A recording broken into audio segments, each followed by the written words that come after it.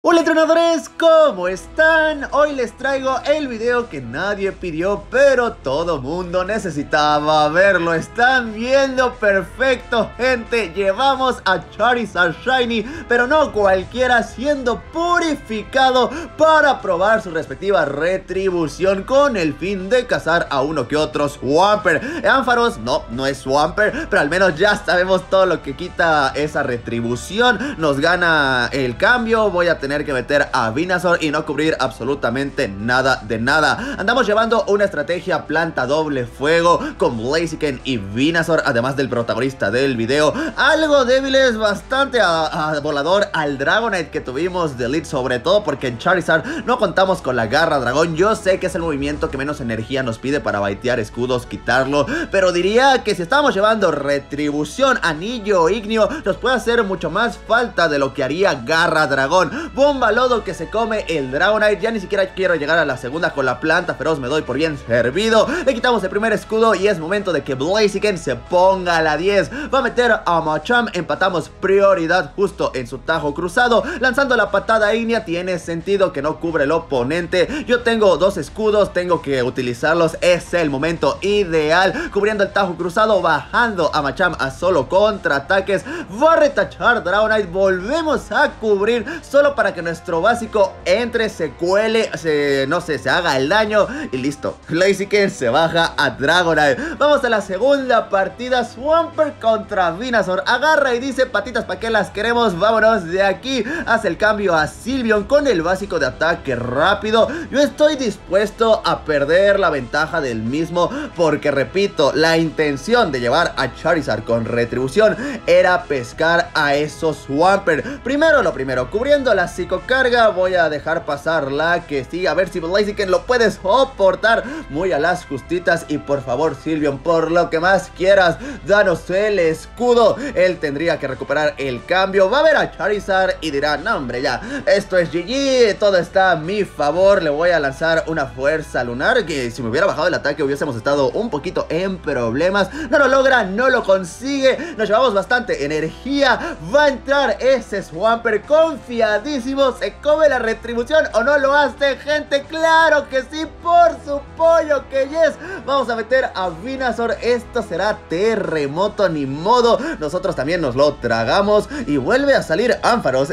fue como la hora ideal de los Ánfaros. Estaban por todos lados. Somos planta, resistimos el básico de Voltio. Cambio, cubre la planta feroz. La segunda ya no hay forma, no hay manera, pues no le queda escudo alguno. Recuerden que en Charizard estábamos un poquito farmeadillos. Podemos extrañar la garra dragón, pero no tanto, porque Ánfaros desperdicia el poder de un básico, se cuela nuestro ataque ala y solo nos faltaba un par de un par de taps para llegar al anillo ignio. Adiós, Ánfaros querido, que te vaya bien y el Swampert algo cerrado. Estuvo muy cerca de lanzar el hidrocañón, pero Charizard lo bajó en la carrera. Tercer combate, como no, teniendo a otro Ánfaros en el lead. Dejamos entrar todo todillo. Estoy muy cómodo. Bill, al no ser oscuro, ninguno de los dos Pokémon Ánfaros necesita en total tres cargados si es que quiere debilitar a nuestro inicial de tipo planta. Cubrió nuestro primer movimiento. Yo dejo pasar el segundo Bill, no hay ningún problema. A mi de su voltio cambio para evitar algún posible cambiazo. Lanzamos el cargado y vuelve a invertir escudo. Además, forzadísimo en tener que aventar toda la energía que tenía acumulada porque si no, Vinazor, uff, lo que le hubiera hecho. Vamos a meter a Blaziken. Solo voy a cubrir una vez esperando que no llegue al segundo, pero si llega, ni modo, lo hecho, hecho está. Menos mal, no lo consigue. Va a entrar Swampert Shadow. Sacamos a Charizard a la acción Entra con Scrafty. Yo estoy bastante cómodo, aunque sea juego sucio. Si medio nos va a doler, nos deja a un cuarto de vida más o menos. Pero también con 100 de energía, anillo ignio. Adiós Scrafty, todavía no perfecto para mí. Más energía. Va a regresar el Swamper lanzando su hidrocañón, forzándonos el escudillo. Y si al Swamper normal le hicimos bastantillo, ahora al oscuro que tiene menos defensa. Oh, Dios mío. Que alguien detenga al Charizard purificado Shiny. Gracias, gracias por haberme dado chance de purificarlo. Ustedes dirán, hombre, pero qué, ¿cómo, cómo que purificaste un Shiny Shadow? Yo pregunté, gente, me dieron permiso, me dieron luz, eh, me dieron luz verde, dispensen. Y desde acá le mandamos un saludo enorme a Johnny, porque si sin su autorización, sin su permiso, no hubiéramos podido hacer este video tan épico. Vamos a cerrar con un anillo ignio al Trevenant, Jellicent, entre retribución y anillo ignio, evidentemente lo mejor es lanzar el movimiento fuego. Nos baja el ataque con el rayo burbuja, maldita sea, hubiera lanzado justo antes, pensaba que iba medio sobre farmear. Ya el anillo ignio no le hace ni cosquillas, vuelve a querer bajarnos el ataque, a la vez daño super eficaz. Yo reinicio el tema del debuff haciendo un cambio agresivo, metiendo a Vinazor, haciéndole presión para que nos ceda el primer escudo, sale corriendo, mete a Scrafty y no estamos del todo mal, ¿eh? recuerden que nos queda Blaziken, Scrafty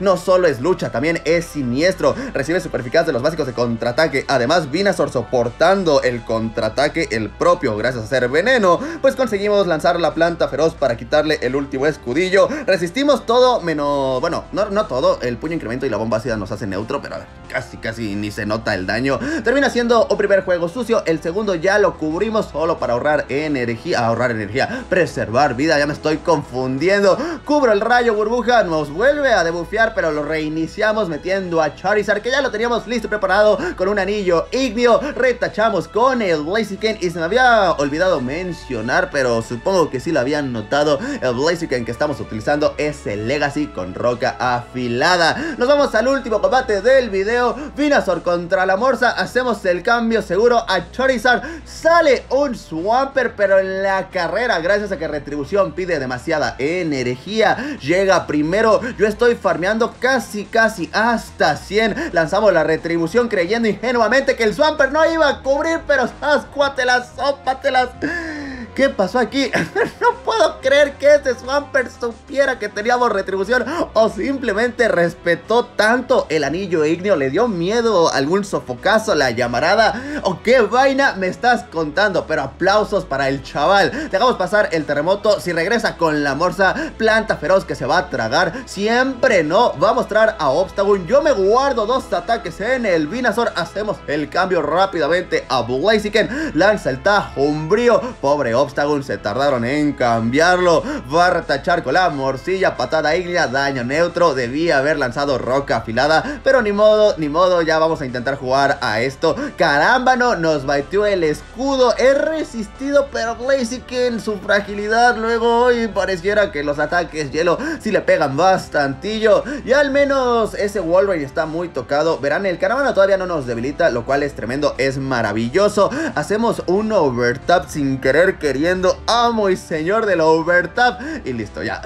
Planta feroz. Imagínense que por ese overtap, no sé, Obstacle nos hubiera lanzado el tajo umbrío. Como hubiéramos quedado con cara de payasos. Pero ahora logramos esta chulada del 5 a 0 zapatero. Y nomás vean, tremenda referencia en la miniatura. ¿Creen que algún día llegue movimiento sísmico a Pokémon Go? estaría interesantón. Pero bueno, entrenadores, esto ha sido todo. Si les gustó, denle like, compártalo. No olviden suscribirse. Nos y hasta la próxima.